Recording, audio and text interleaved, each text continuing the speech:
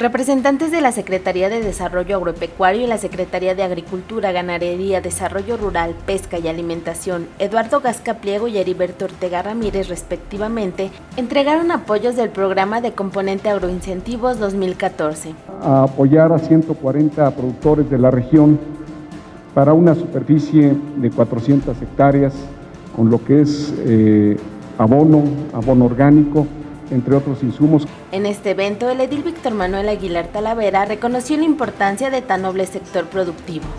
De ninguna manera olvidamos que en este municipio el mayor porcentaje de nuestra población se dedica a la actividad del campo.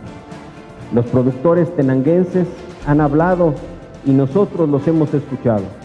Hoy, a través del programa Agroincentivos 2014 de la Zagarpa, les hacemos entrega de fertilizantes orgánicos. Asistieron los diputados Gerardo Hernández Tapia e Irad Mercado Ávila. El trabajo en equipo que lleva a cabo el gobierno federal y estatal tiene la finalidad de impulsar el campo con la entrega de recursos en tiempo y forma, ya que este año la Cámara de Diputados aprobó un presupuesto mayor.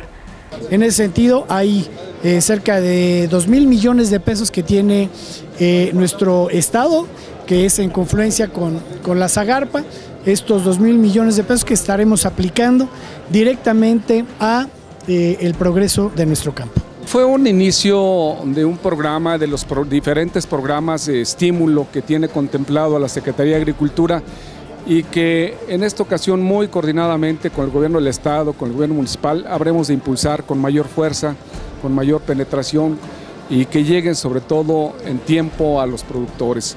Para TV Urbana Noticias, Laura Celdaña.